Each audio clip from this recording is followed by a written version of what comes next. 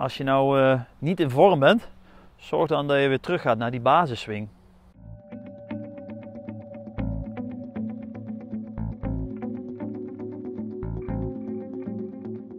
Welkom kijkers bij Golfschool Gelderop. Ja, we zitten inmiddels over de 1600 abonnees, maar ik wil zo graag naar die 2000. Dus doe niet zo flauw als jij dit filmpje kijkt, maar je hebt je niet geabonneerd. Na dit filmpje druk even op abonneren, druk even op het belletje en uh, je krijgt van mij een berichtje zodra ik een nieuwe tip van de week weer heb gepost.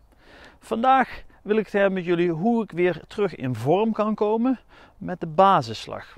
Als je kijkt op tv naar die tourspelers, dan zeg ik altijd, ze hebben eigenlijk twee swings. Ze kunnen een full swing maken, waarbij ze dus eigenlijk alle risico's nemen om die optimale lengte erin te brengen. Maar ze kunnen ook terugvallen op een half, driekwart swingetje. Waarbij ze dus eigenlijk meer precisie, meer controle willen. En dat zijn vooral de slagen naar de green toe. Dus die full en je hebt die halve driekwart swing. Ik noem die halve driekwart swing eigenlijk de basisslag. Want als je die niet beheerst, heeft het ook weinig zin om die full swing te doen. Dus als je merkt dat contact niet goed is, hij heeft geen mooie boog, hij gaat waarschijnlijk niet mooi recht op zijn target, ga dan even terug naar die basisslag. Oké, het is een wat kleiner swingetje. Je zult een klein beetje lengte verliezen. Maar het weegt niet op tegen het feit dat het contact weer beter wordt. En vanuit daar kun je weer gaan opbouwen. Um, basisslag. Er zijn eigenlijk twee dingen belangrijk. Eén is, we moeten weer gaan zorgen dat het lichaamswaterpunt, oftewel het middelpunt van de cirkel, dat die mooi op zijn plaats blijft.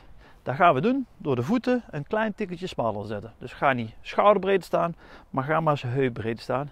En als tweede, we moeten zorgen dat de cirkel waar de club in beweegt zo groot mogelijk blijft. Dus we gaan proberen om zowel in de opzwaai de linkerarm mooi recht te houden, als in de doorzwaai de linker en de rechterarm.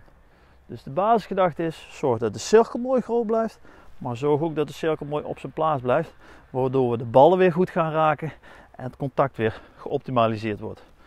Eén keer droog. Schouderhoogte achter, schouderhoogte voor. Lukt dat? Stap je naar voren.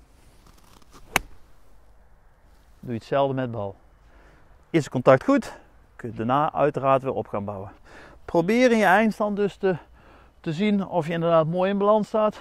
Als dat niet lukt, heb je waarschijnlijk een te hoog swingtempo gehad. Dus probeer vooral te letten op in de opzwaai niet hoger als schouderhoogte. Zeg even 9 uur positie. Dan wil ik in die uitzwaai niet hoger als schouderhoogte op de 3 uur positie. De basisslag. Armen lang, gewicht op links en probeer in balans te blijven staan. Laat even weten door een heel simpel duimpje. Ik vond het een leuk filmpje. Vergeet niet je te abonneren, zodat ik je op de hoogte kan houden voor de tip van de week.